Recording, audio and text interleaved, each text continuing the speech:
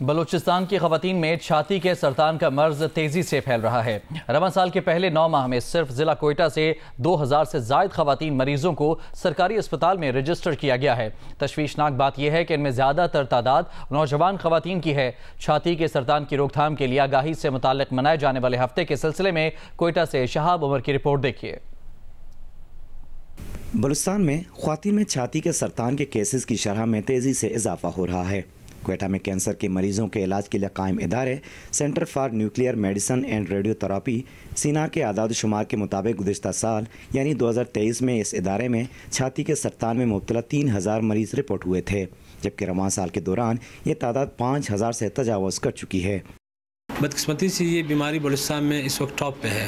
सबसे ज़्यादा तादाद जो कैंसर के मरीजों के इसमें ब्रेस्ट कैंसर पहले नंबर पे है। ये तादाद ख़तरनाक हद तक बढ़ चुकी है और सहूलियात का वक्त पे ना होना ये उसके लिए भी बहुत बड़ा ख़तरा है। तिबी माहरीन के मुताबिक कैंसर के मरज़ में इजाफे की यह शरह ख़तरे की घंटियाँ बजा रही है। बलुस्तान में ज़्यादातर तीस से पैंतीस साल की उम्र की खुवान छाती के सरतान में मुबतला हो रही हैं, जिसकी बड़ी वजह आगे ही में कमी तशखीस और बर वक्त इलाज करना होना है। अक्सर मुतासर मरीज़ हकीमों या अतई डॉक्टरों का रुख करते हैं, जिससे बीमारी मज़ीद पेचीदा होती चली जाती है।